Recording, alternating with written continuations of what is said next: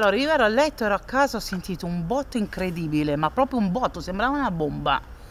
E quindi scendo, scendo giù, per, veramente vado alla finestra e sento delle gente che era qua nel parcheggio e qualcuno che urlava al fuoco, al fuoco, al fuoco.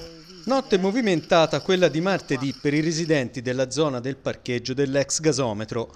Erano le due infatti, secondo quanto registrato da alcune telecamere di videosorveglianza privata, quando questa Dacia Sandero ha preso fuoco causando un'esplosione che ha buttato giù dal letto gli abitanti. Noi siamo scesi, è scesa anche il figlio della mia vicina, giù, perché veramente è stata una cosa pazzesca, ma botti incredibile c'è una paura, io mi sono buttata giù dal letto perché ho detto che è successo. Sul posto sono intervenuti i mezzi dei vigili del fuoco che hanno provveduto ad estinguere le fiamme, ma ormai per il mezzo non c'era più nulla da fare, essendo finito quasi completamente carbonizzato.